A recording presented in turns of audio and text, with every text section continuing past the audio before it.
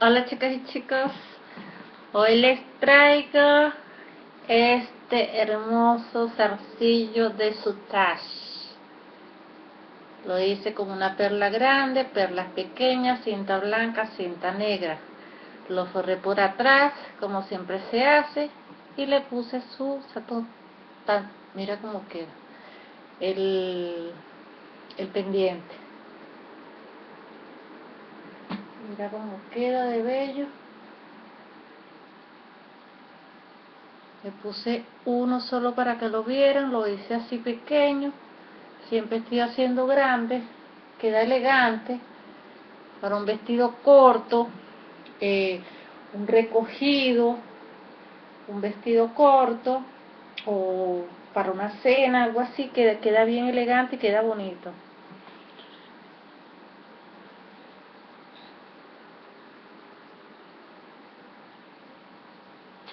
Entonces lo primero que tienen que hacer es agarrar la cinta, que es como la de ratón, pero la que es plana.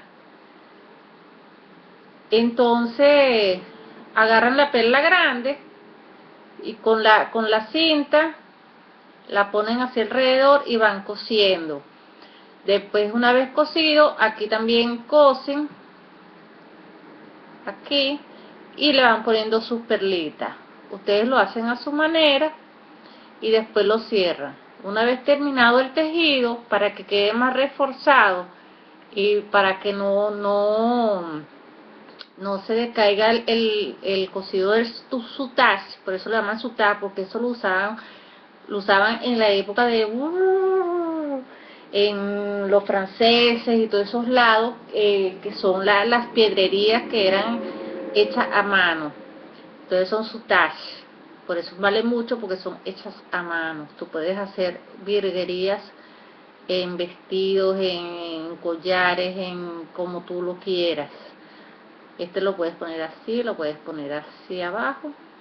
Entonces después le pones un pedazo de fieltro, lo cortas al, nivel del zarcillo y después le pones su, tachón de, del pendiente y su trancadero.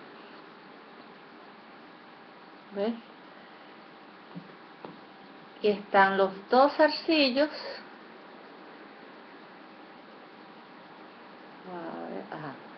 Están los dos zarcillos iguales. Lo puedes poner arriba. Lo puedes poner abajo. Y quedan preciosos. Bueno, espero que les guste. Ahí es fácil. Espero que les guste. Dedito arriba. Suscripción, comentario, crítica. Y si quieren el paso a paso, en la brevedad posible, yo les haré, los haré con ustedes. A ah, que tan preciosos me fascina.